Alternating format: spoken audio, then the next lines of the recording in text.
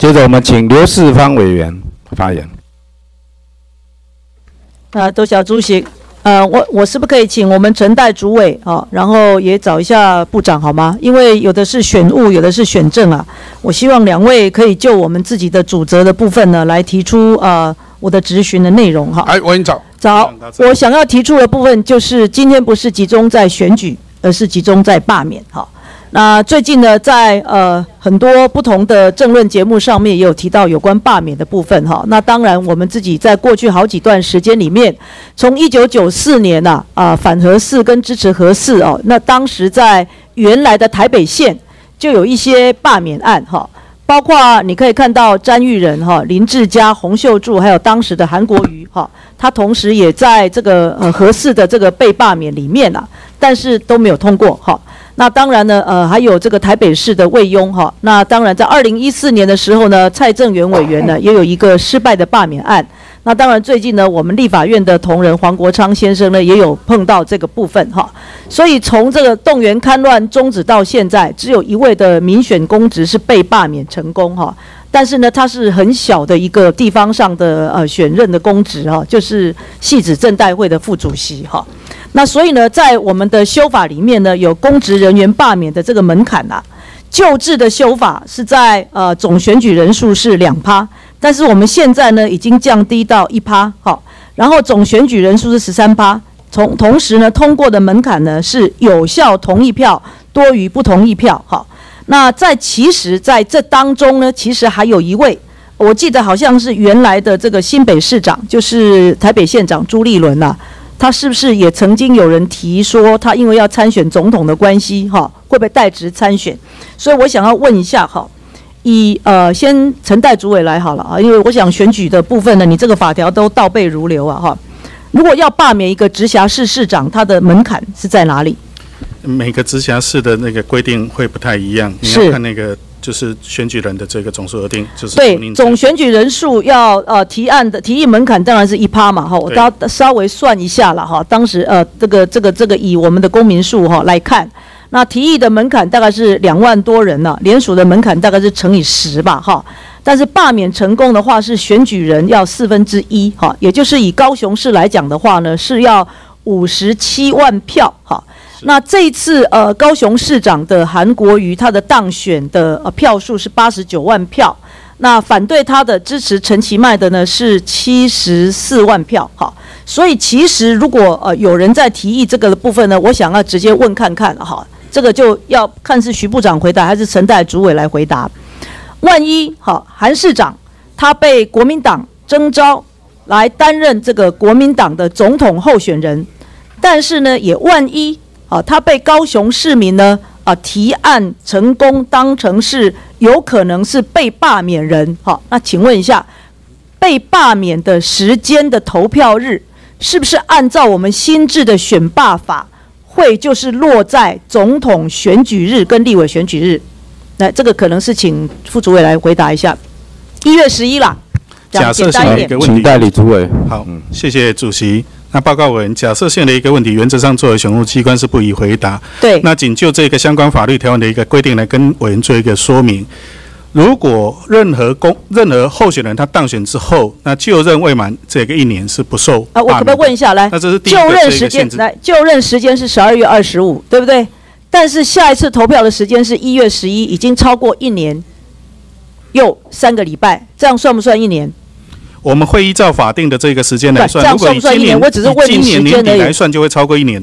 以今年十二月二十五就超过一年嘛，哈，对不对？好，那我就是一样，同样的道理，在十二月二十五之前，我们总统选举的这个候选人公告的时间是什么时候？我们总统选举一月十一，你已经列出来，一月十一是我们的投票日嘛？那总统办那个候选人选举公告是什么时候？我们有一个投票期程是八，前面三个月还是前面六个月？前面啊，收尾狼龙不让供，时间暂停。那个三三那个九八啊，暂停。九月十二，九月十二。那九月十二如果公告总统或副总统两个一起公告嘛，是不是这样子？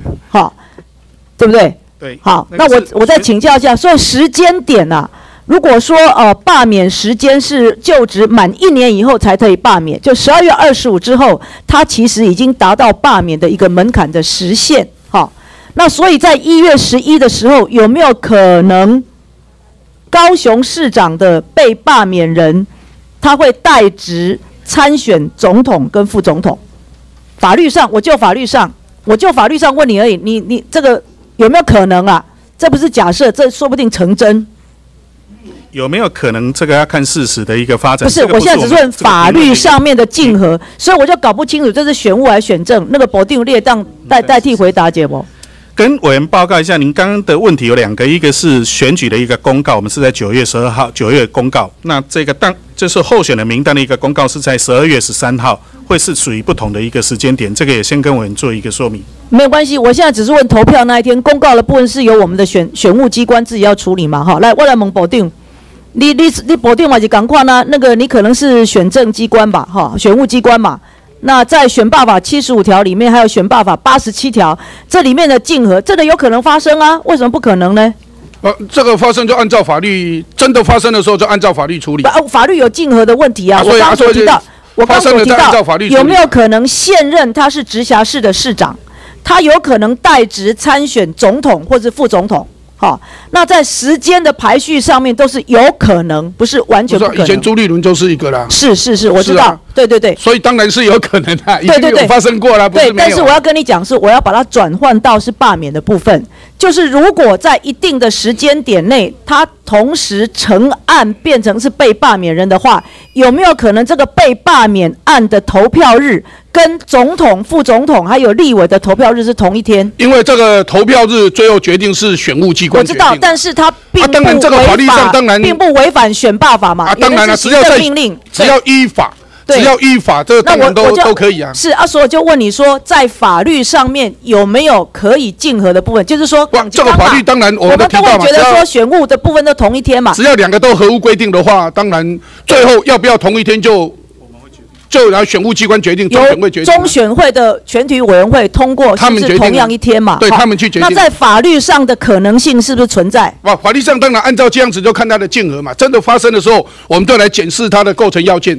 那构成要件一检视，如果符合的话，最后要怎么决定？这是选务机关要做决定啊。来，那个两位都是法学专家了，我搞选爸爸七十五条，跟选爸爸八十七条，看一下。所以我所说的这个可能性是不是有可能成立的？因为按照目前的政治态势就这样子嘛，有人不想选嘛，啊，但是有些政党就一直劝进，一直劝进嘛，所以有没有可能发生？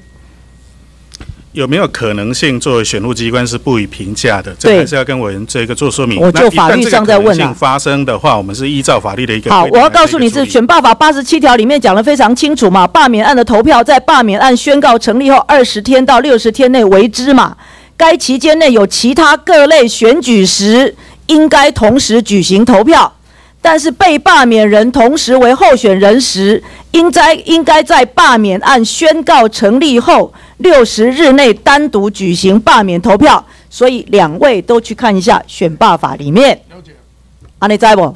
好，所以博定这边来回答，这类。没有，我我还是一句话嘛，如果发生了，我们就按照法律来解释嘛。对，哎，然后这个按照法律的解释，事实上最后在选务的举办还是中选会，中选会他们是合议机关嘛，是，啊，由他们合议去决定。到底哪一天怎么样？那执行面的话，就是由内政部的各地的选委会来帮忙。执行面都是选务机关在处理。好，那我再问一个，副总统本身算不算候选人？只有副总统算不算候选人？在中选会的定义里面，因为它是搭配，我知道，但是算不算？宪法跟总统选办法明文规定，总统、副总统应该要是联名登记，也就是以一组为候选人来这一个登记。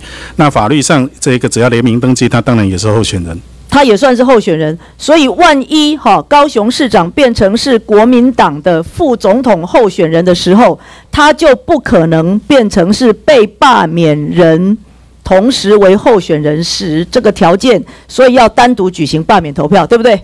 如果用八十七条来解释，不太了解我的一个意思。我的意思是讲，无可能讲一讲啦，安尼唔是较简单。